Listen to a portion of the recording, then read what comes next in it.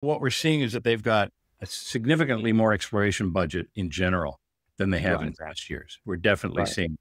We won't know. They haven't given us numbers yet. We won't know until probably we're probably a month or so away from those meetings. We'll we have provided proposals on Hook, and we're meeting them to do some preliminary mapping out of what we would want to do at Smart. But then they take all this back and they talk internally and they because they generally the way they're going at it is they've got exploration's got a number and then they just have to decide how they're going to divvy it up amongst all of their projects. So we've maxed out on what we think you could possibly spend. We're giving them all the oper- all the possibilities and it gets carved down from there. But we'll we'll see what what happens in the meetings over the next month or two. It could be a very busy winter because most of that work has to happen in the winter.